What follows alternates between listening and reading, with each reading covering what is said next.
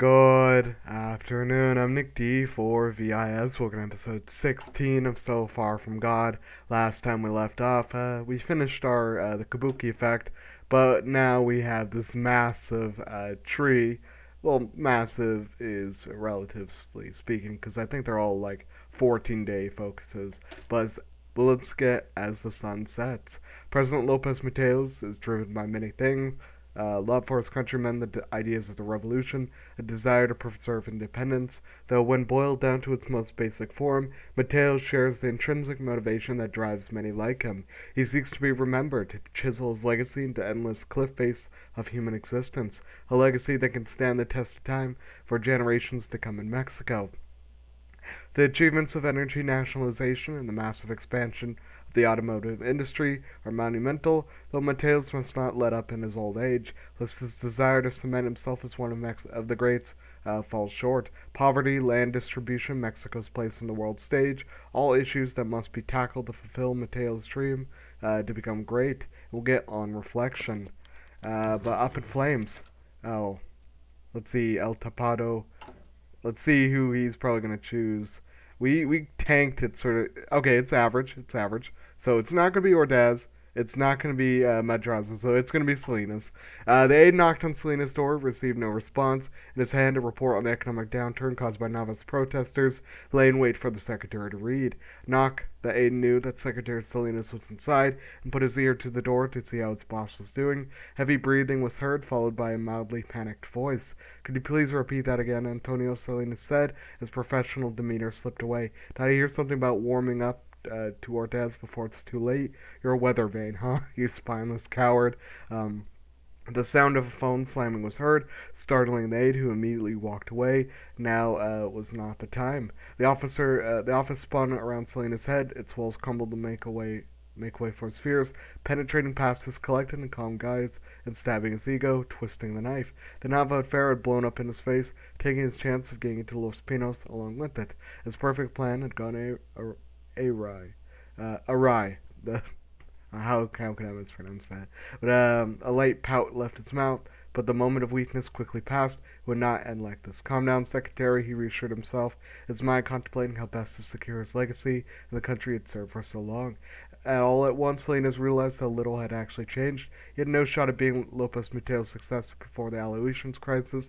His enemies were bound to slip up again. He just needed to be ready to exploit their next mistake. His mind raced, new ideas already formulating in his head. The long game, the long game has just begun. There's always another plan. Uh, the Kabuki crisis will continue to evolve. Uh, El Tapado is chosen. The president will inform them soon. Uh, it's going to be us, I, I promise you guys. Um, we could do some relief right here. Or uh, let's see. Let's. I want to see how stimulation is going. Moderately active, slightly active, sli slightly inactive. Uh, let's get some Northwest going. Let's sponsor some industry. Let's get that stimulation going. Um, coup in Vietnam, but all the pretty horses. Uh, Lopez Mateos raised a nice bottle of Tequet to his lips as he watched the horses canter in the field across the ranch house. Though the arid climate of uh, Nuevo Leon was not quite to his liking, the norteño cuisine was another matter entirely. He took another bite of his cabrito and smiled up at Salinas. My compliments to the chef, he said. Let him know there's a job in the capital if you ever feel like parting with him. Um, Salinas tipped the rim of his black cowboy hat appreciatively. He would refuse even if you asked, I'm afraid. He feels that leaving the North would remove something from his food, turn it into the pale imitation for the palates of Mexico City. Is that so? asked Lopez Mateos. Some would say we may be heading in similar in a similar direction, headed toward some distant metropolis which will swallow us up and strip us bare. Will that become of us? Uh, do you reckon us? Uh, do you reckon? Do you see those? asked Salinas, pointing at the horses. Their ancestors once roamed these lands wild and free, until one day vaqueros and fences and civilization come and brought them to it, that to an end. If they had pushed on deep into the unfamiliar, the mustangs may have lived, may have remained so. Instead, they pranced as they always had, now an enclosed space for our amusement. For Mexico to thrive, to avoid uh, being enclosed by our neighbors, we must press on in a firm, uncom uncompromising direction, if we, even if we fear the monsters that guard the way. An interesting philosophy, said Lopez Mateos. I hope it will pan out in the six years to come, Your Excellency.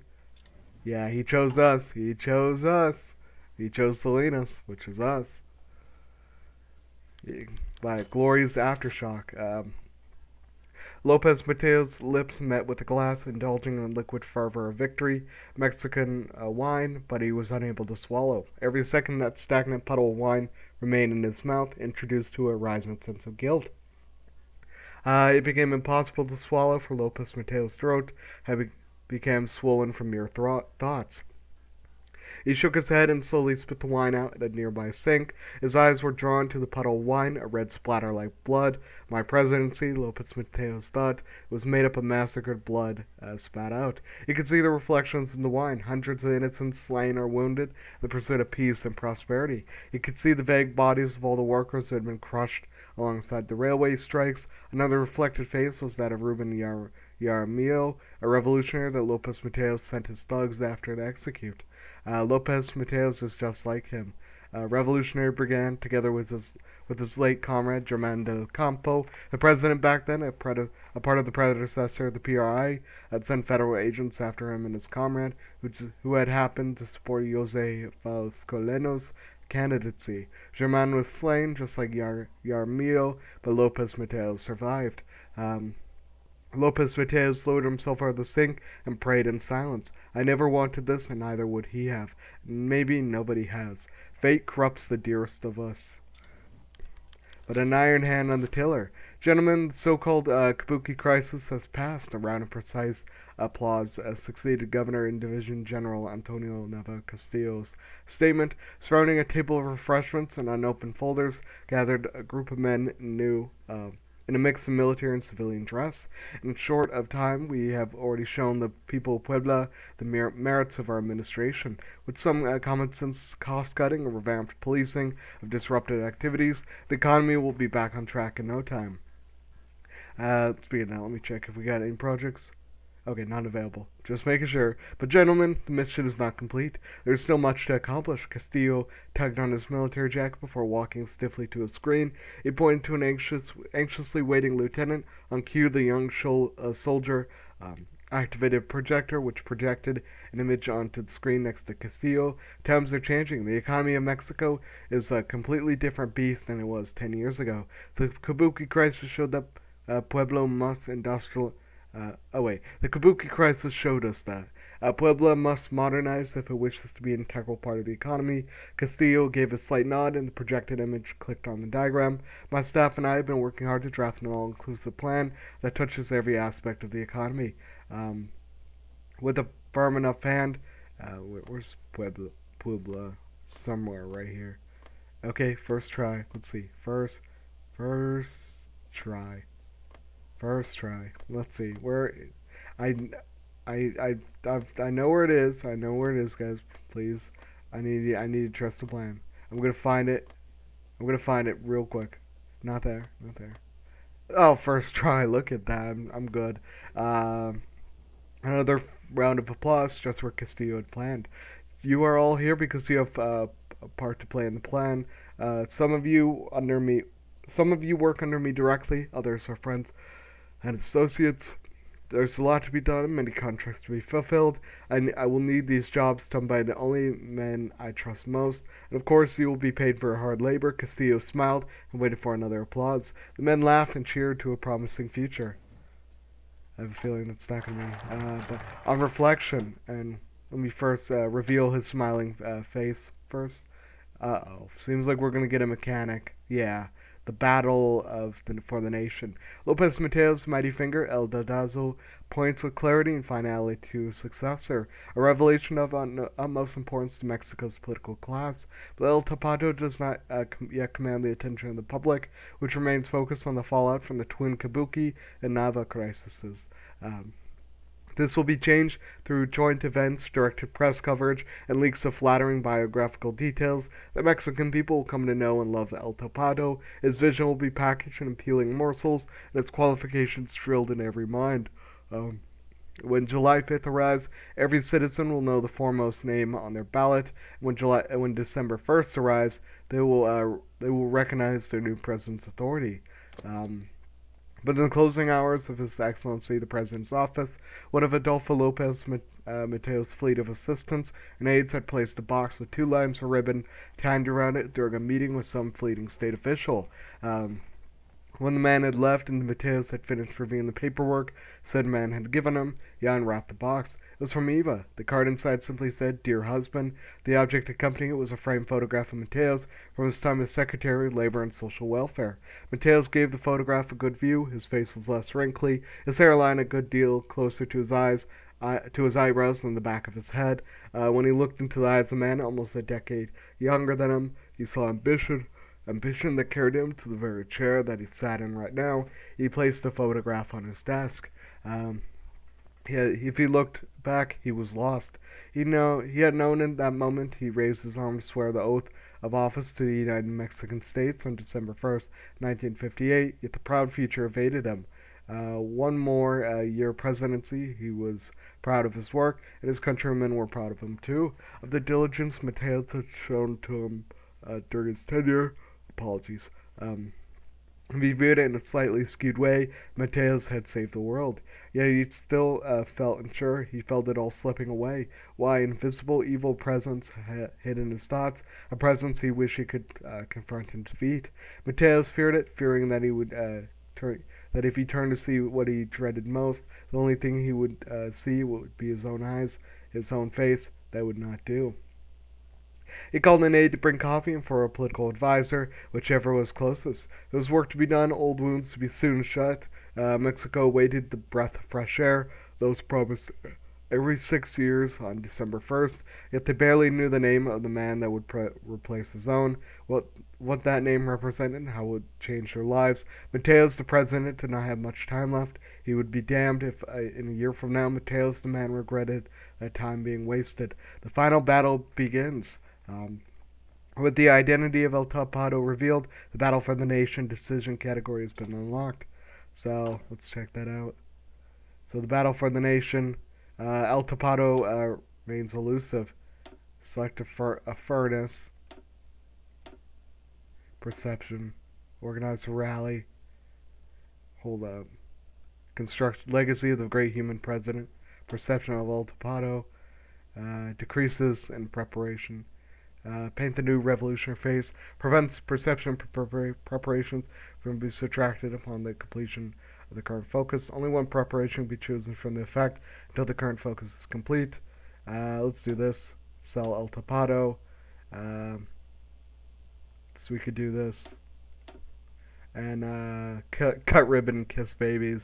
Um, let's let's do this. Uh, it from this campaign upon the completion of the current focus. Only one campaign could be chosen for this fact. Okay, I think um, let's do let's do this. So 25, 25, and five, and we're gonna get five more. So we gotta we gotta do that. It's a cool mechanic. I I really don't hope I really hope I don't mess this up. But oh, what is what's this? DFS, target faction power. Uh, let's target these guys. Workers, maybe. That. Where did the Where did the other screen go? Oh, look at that. Uh, legacy preparation. Available for reselection in two days. What? Costs uh, five. Uh, we could maybe let's decrease cronyism. Oh, Oh yeah, we need we need perception. Loyalty. Oh, the peasantry do not like us. They do not like us one bit. Let's organize a rally. I feel like there's something like I shouldn't be selecting them all. Preparations. Let's do this. Oh. But water, water everywhere. Where once there was a road, there was now a murky brown eddying torrent of water, lurching forward like a dying beast. When its depths and along its surface, the pieces of towns and villages floated in bizarre, uh, bizarre uh. Logs, paintings, bodies, and even whole homes rose from their foundations. Gray clouds rolled in the sky with the trickling rain, reminding those under them that the flood was just the beginning. A few people looked out the windows, barely perched above the water, desperately, fruitlessly holding back the tide. A few lay on the mountainside with nothing to their name but soaked clothes and the assurance of loss. Alongside the great stream were husks of buildings, many of their occupants long ago having fled, whether into the jungles or mountains, or simply higher areas within the decimated village. The church atop the hill hung over the town as the only building unaltered. The villagers thanked God and the Virgin for that. Before, beyond that, the village Beyond that village, across mountains and forests, the great stream continued to expand and thinned and grew again. Many boats traveled along it, some intended vessels, others simply pieces of wood stitched together by the desperate. They occasionally floated by uh, by other uh, destroyed towns were joined by new refugees. Some headed east towards the foothills, while their drivers declaring they had connections in Mexico City. Others to the swamp Villahermosa or other cities uh, to beg amidst the ruins, beseeching long departed uh, politicians for succor. Uh, the southeast is sinking, and Mexico City must raise it, lest other things besides uh, water uh, begin to saturate the heads of the region's people, yet not a drop to relieve their suffering. So this will decrease our stability and GDP. Uh, but into the waves. The president's office was dead silent, but Madrazo kept on reading the reports about the floods batter- battering the south. Line by line, he read casualty estimates, reports of entire villages swept away, and the stories of heroism happening in spite of the public services in his home state of Tabasco. Uh, putting it down for a moment, he struggled to vocalize his feelings on the matter. I remember hearing that the public works officials, the meteorologists, saying this was a matter of time. He looked as if finding something to uh, pin uh, blame on other than himself, and only the proper infrastructure was in place, the rural areas would not be so vulnerable. Something like this. Madrazo Lopez Mateos interrupted the distressed governor, and after the past, it's irrelevant now. Uh, the president spoke with paternalistic inflection. This is your state, Madrazo. You know what you must do. You cannot do anything by reading reports and shifting uh, blame hundreds of miles away. Um, of course, Your Excellency, the governor straightened himself out. I was just about to leave for my flight in a few hours. Anyhow, uh, Madrazo tosses the report to his side and stands up. No use in reading uh, that any longer. It's time for that I see for myself. With that, he begins to leave the room, although it's stopped by uh, Lopez Mateos once more. Wait, Madrazo, the governor turns around. Good luck. I think if we went with him, uh, if we went with him, that would, uh, like, make him the, like boost up his successor score or something. I don't know if that's even in the factor because I think he might have made up his mind already. Uh, but he flipped the page. Tabasco, with the help of relief efforts coming from Mexico City, will be rebuilt. Though it will take longer than initially expected, Carlos Madrazo, the leader of the response, is already um, being praised for his quick and timely aid, despite concern um, for supplies at the beginning of. A sigh escaped from his mouth before looking up from the paper. No doubt they are happy for aid, if only those back in the city thought the same too, Madrazo commented, before looking back down to the paper. Well, Stafford jumped in, having uh, been the one to give the paper to the governor. If you want to, we can. No, no, Madrazo set the paper down. Again, this is what we'll have to work with. We won't be getting anything else besides what has been given to us. Surely we can do something to make the government realize what, what we've done here. The Stafford shuffled some papers around uh, before uh, finding the correct one and placing it in front of him. All they gave us was a thank you, saying that the government will always look after its people, and then just leave it at that. We have always gathered a great amount of support by helping her, while I absolutely despise those in the soft cushions reducing life uh, to numbers on a piece of paper. We must show that we have defied uh, expectations in our efforts against all odds. Carlos brushed the staffer away, picking up where he'd left off on the paper. You get the cards dealt to you, and all you can do is play them. So this will uh, increase the GDP, just we lost. We took a hit right here. Let's see. Uh, we do any Tilpado. I don't know what these little like, like balls right here represent. Oh, preparation, legacy preparation. So, hmm. Uh, reselection. I don't really want to. Maybe we could do this. Actually, we're about to get some legacy uh, perception. I mean. So let's uh, let's do this. Three. Uh, let's cut ribbons. Oh no, we don't have enough political power. Uh, but this will give us some political power. Hmm. but revealing the smiling face, we'll get the the final ride now. As high noon fades into twilight of Lopez Mateo's sexennial, the shadows grow long. The president held himself to be the leftmost within the Constitution, an opportunity to reinvigorate an ebbing revolution. But perhaps the structures of power were too tight, and perhaps the man too flawed for so monumental a task. Necessary or not, uh, Mexico's great hopes leave a trail of corpses behind him but that will not, cannot be his sole legacy. In this last year, uh, Lopez Mateos will couple social reforms with efforts to soften the PRI's heavy hand. Political prisoners who no longer pose a threat will walk free. Uh, enemies with, will be co-opted rather than crushed. Perhaps there'll be enough to exchange a black hat for a white one on this last ride. And uh, after this, we'll get molded, insti- molded institution, and I think uh, we'll I think we'll drive away the specters. We'll try to get like the peasants to actually care about us. Um, look at that. We can excise the atom. uh, but let's do the final ride. And the International Olympic Committee, so close to Adolfo, one more day. The president takes a mean gander at his exhausted figure in the mirror in the hotel bathroom. Uh, his normally youthful eyes finally begin to crack under the weight of the many trips undertaken in the past months. Apologies. Um, his head pounding from all the stress had led up to this count, the endless deal brokering, uh, diplomatic speak, and countless hours of jet lag would all have been for nothing if this country did not see the receive the Olympic uh, nomination this night. Oh my God! It's uh, yeah, the German Civil War is about to break out. Uh, he's in.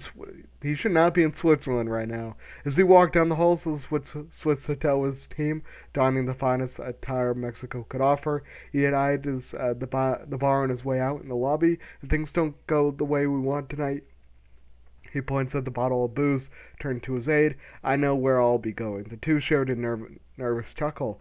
The old Lopez Mateos had a day uh, this long in years, he thought to himself, anxiously waiting uh, hours in the International Olympic Committee building as the members cast their votes in secret ballots. The president's headache was lessened uh, by the surge of excitement and adrenaline that slowly crawled up him as each vote was casted. He knew his presidency would be remembered at home for better or worse, though with this vote, such memory would encompass the world stage. Um, the windows of the grandiose building became bedazzled with uh, patterns of orange and pink as the sunset drew nearer, and the day became a blur for Lopez Mateos, anxiously waiting for the result. When the time came for the selection speech, he didn't register a single wor- a word aside from the last two. Uh, Mexico City, the imperfect dictatorship, applies a new facade. So is that going to be a new event? But yeah, we. Uh, oh, look at that, the imperfect di- di- dictatorship. Yeah. Uh, uh, the Janus face of the PRI has broken into a smile. Lopez Mateos has arranged to showcase Mexico's progress as the host of the 1968 Olympic Games. Um, the sovereignty and dignity bestowed by the revolution, its rapid development, and the stability and freedom created by its democratic system, with the grasp for international prestige and domestic legacy, is a calculated risk. Where the Olympic torch's glow could also reveal the fractures in the party, uh, the depths of the violence, corruption, and authoritarianism. Can the PRI's democratic illusion be maintained as the world's eyes turn to Mexico? Then El Norte, the, be- the bench creaked, bearing the weight of the several too many exhausted braceros, as Miguel Alvarez, is a project event? No. Uh, sat down to join his companions in the squat bunkhouse. It was hot, human, frankly decrepit, though for now it was home. His eyes, his ear catch the static of the radio nearby, and the static snippets of Secretary Salinas' speech make their way uh, to him as the room falls silent. The age of Mexico's industry being at the whims of others is over. Tens of thousands of jobs to be created by Mexicans for Mexicans. Miguel counts his bills he has in his bag. Five, ten, fifteen, twelve dollars is all he had for his name since last night when he lost the other twelve he made in a poker match. Are you fixing to pack too, Ed Miguel? His co-worker chimes in with the correct observation. Miguel nods. Me too, friend. Hell, I hear the Yankees plan on getting back at the government for playing around with the Japanese. Miguel read, uh, read between the lines, looking around at the dozens of men pawns to diplomacy. We'll be the first on the chopping block, won't we? Best get ahead of the curve. Uh, I'll make a pause and let's let's check how Mexico's doing. El Tapado. Let's see. Can we can we do something right here? Oh, locked. I don't really want to do this because we got it to 10. Maybe we could do this. Oh, no. I, I don't know how this mechanic works. I might have to mess around, but we are we are approaching rapidly the German Civil War. I don't know if that will have any effect. It probably won't. But yeah, th- this is all gonna explode next episode. With that, I'm Nic D4vis. I'll see you guys next time.